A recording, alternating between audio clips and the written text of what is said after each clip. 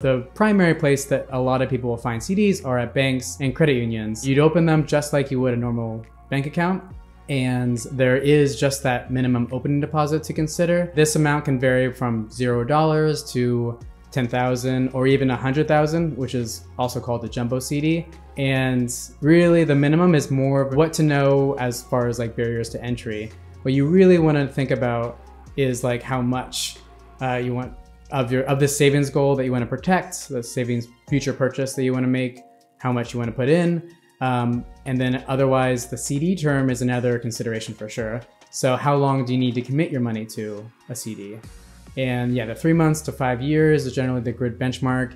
Um, and honestly, it's sort of like one, you look at rates and figure that out, but more importantly, you look at like when will I need this money and how much time does it make sense to commit it to.